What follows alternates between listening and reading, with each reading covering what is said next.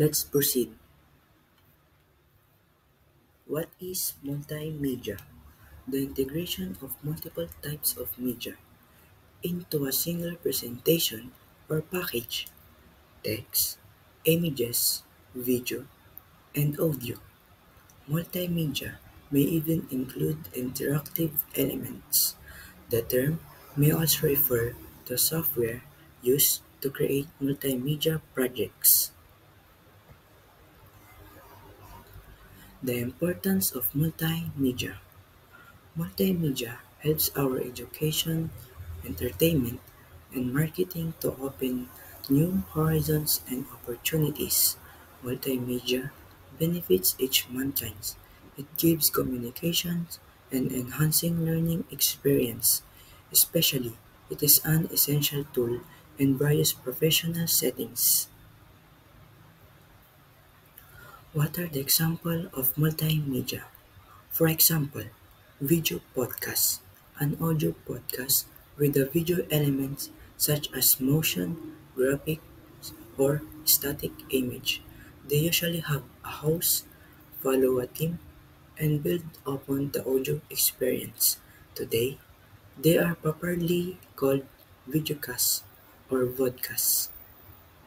The other one, home shopping, allows consumers to shop for goods from the privacy of their own home as opposed to traditional shopping which requires one to visit brick and mortar stores and shopping malls.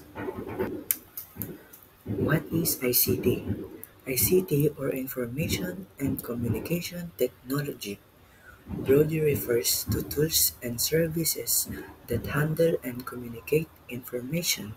Some of the most common examples of ICT are mobile phones and televisions. ICT is widely used in our everyday life and its needs is ever growing in the educational sector. The importance of ICT. ICT helps every individual in their daily lives to communicate and for the convenient access to their daily needs. ICT enhances the quality of all platforms, especially in business. It helps to secure all their confidential documents by doing a program software. What are the examples of ICT?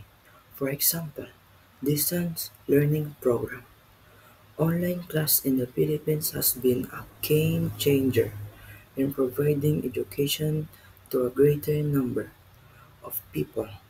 With enough research and determination, there are now more ways to overcome the barriers of education that were once there. The other one, artificial intelligence, theory and development of computer systems capable of performing tasks that historically required human intelligence, such as recognizing speech, making decisions, and identifying patterns. AI is an umbrella term that encompasses a wide variety of technologies, including machine learning, deep learning, and natural language processing.